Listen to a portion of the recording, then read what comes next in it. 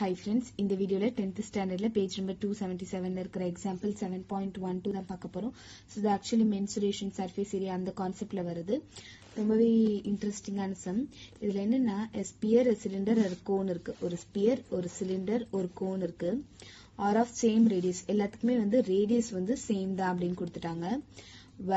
Whereas cone and cylinder are of same height இந்த கோனுக்கும் சிலிண்டருக்கும் ஹைட்னு measure பண்ணுவோம் இல்லையா? அது ரெண்டுத்தோட ஹைட்டுமே சேம் அப்படின்னு கொடுத்துட்டாங்க. Find the ratio of their curved surface area அப்ப இதோட கர்வ்டு சர்ஃபேஸ் ஏரியாவை கம்பேர் பண்ணும்போது இதோட ரேஷியோ என்ன அப்படிங்கறத எனக்கு கொஸ்டின்ல கொடுத்து கேட்டிருக்காங்க.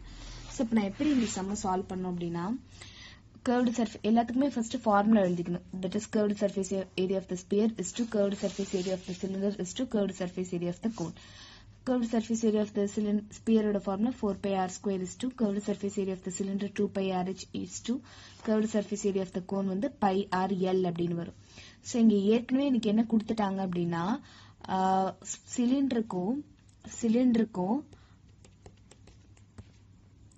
இந்த டயக்ராம்ல எனக்கு என்ன கொடுத்துருக்காங்கன்னா சிலிண்டருக்கும் கோனுக்கும் எனக்கு ஹைட்டும் ரேடியஸும் சேம் ஹைட்டும் ரேடியஸும் சேம் கொடுத்துட்டாங்க.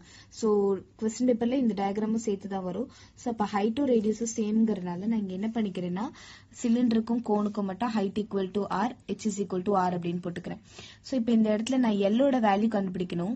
ஸோ எல்லோட வேல்யூ கண்டுபிடிக்கிறதுக்கு நான் எல்லுக்கு ஃபார்முலா என்னது? L is equal to root of H square plus R ஸ்கொயர்னு வரும். H is equal to root of ஹெச்சுக்கு பதிலாக நான் ஆர் போடுறேன். அப்போ ஆர் ஸ்கொயர் பிளஸ் ஆர் ஸ்கொயர்னு வரும் which is equal to root of R square plus R square is two R ஸ்கொயர்னு வரும். ஸோ இந்த ரூட்டை விட்டு வெளியில எடுக்கும்போது ஆர் ஸ்கொயர் வந்து ஆரா கன்வெர்ட் ஆகும். அப்போ ரூட் டூ ஆர் அப்படின்னு வரும். ஓகே இது வந்து எல்லோட வேல்யூ இப்போ நான் எல்லாத்துக்கும் சப்ஸ்டிடியூட் பண்றேன். So four pi R square அப்படியே வரும். இங்க ஹெச்சுக்கு பதிலாக ஆர் போடுறதுனால இங்க ஒரு ஆர் வந்துடும் அப்போ டூ பை ஆர் ஸ்கொயர் அப்படின்னு வரும். இஸ் டூ இந்த இடத்துல வந்து பை ஆர் ஓகே எல்லுக்கு பதிலாக என்ன போடணும்? ரூட் டூ ஆர்னு போடணும். ஸோ அப்போ என்ன ஆகும்னா ரூட் டூ பை இங்க ஒரு ஆர் இருக்கு இங்க ஒரு ஆர் இருக்கு. ஸோ அப்போ ஆர் ஸ்கொயர் அப்படின்னு எனக்கு வந்துடும் ஸோ இந்த ரேஷியோல கிடைக்கும். ஸோ இப்போ எனக்கு என்னன்னா pi R square pi R square pi R square cancel ஆயிடுச்சுன்னா four is to two is to root two அப்படின்னு எனக்கு கிடைக்கும்.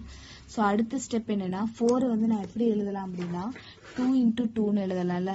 ஃபோரை வந்து டூ இன்டூ டூன்னு எழுதலாம். இந்த டூ வந்து அப்படியே எழுதியிருக்கோம். இந்த டூ வந்து ரூட் டூ இன்டூ ரூட் டூன்னு எழுதியிருக்கோம். சேம் டூ வந்து ரூட் டூ இன்டூ ரூட் டூன்னு எழுதியிருக்கோம்.